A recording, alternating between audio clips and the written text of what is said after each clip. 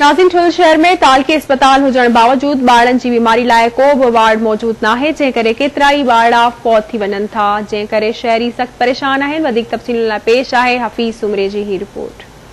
ساڑھا چار لاکھ آبادی رکھدڑ تالک ٹھل کے جی سرکاری اسپتال میں تازے جاول بار کے جی علاج کی سہولت لائے، سن سرکار کووڈ بار جو وارڈ قائم نہ کر سکی ہے جن کر مجبور تھی شہری خانگی اسپتال جو رخ کن تھا تازو ٹھل کے جی خانگی میڈیکل سینٹر میں اسپتال انتظام کی غفلت کے کرے، چار معصوم بار فوت تھن والے معاملے بعد خانگی میڈیکل سینٹر کے ڈپٹی کمشنر کی حکومت سیل تو کیا ویو ہے پر سرکار طرفا بار کے علاج کی سہولت لائے کووڈ بار جو وارڈ قائم نہ کیا ویو ہے جن کر تازے جاول بار کے فوری طور سے علاج کی سہولت میسر نہ ہوجن کے کرے کترا بار جا وارس پریشانی شکار بنجي ويا آهن ٿولو جو شهرن آوازن سان ڳالهائڻ چيو ته چار ٻارڙا فوت ٿيا ان ۾ ته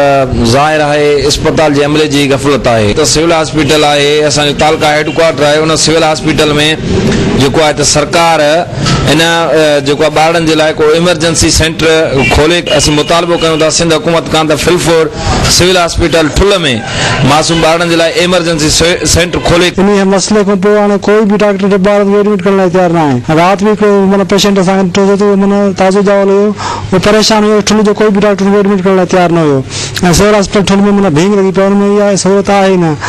اسان سرڪار کان مطالبو ڪيون ٿا سرڪاري سطح تي اهڙو ڪو سينٽر قائم ڪيو وڃي. اسان مطالبو ٿا ڪيون سنڌ حڪومت کان ته جي اگر آيا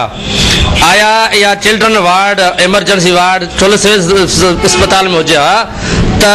آيا هي اهڙو واقعو نه ٿيا. ٻارن جي ماري ڊاڪٽرن چوڻو آهي ته ۽ هڪ پاسي ڪي جيڪي سينٽر هئا اهو به جيڪو آهي سو اهڙو حادثو ٿي پيو جو اهو به بند ٿي ويو آهي ته ڪافي انهن کي تڪليف آهي تالکا اسپتال کے اندر ہن وقت اڑی کاسک ہوں مینج کرنا تمام تک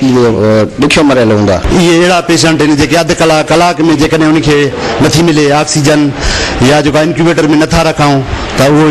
جلدی ایسپائر کی وجہ ڈلیوری سہولت ہے اب یہ سہولت نہ انکوبیٹر ہر